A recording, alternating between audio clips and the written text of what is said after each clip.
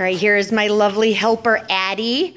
And she's gonna show you how we use a cardboard to just slide it on the drying rack like that. So what I did is I moved all the little things in the front all to one slot because these have a tendency to get stuck all the time and I have to bang them back in place with a hammer. So the kids just slide the cardboard on there and um, we call them our trays. Like if you had spaghetti in the lunchroom, right, Addie? Then we wouldn't carry it around without a tray. So we slide them on there and then here, grab another one.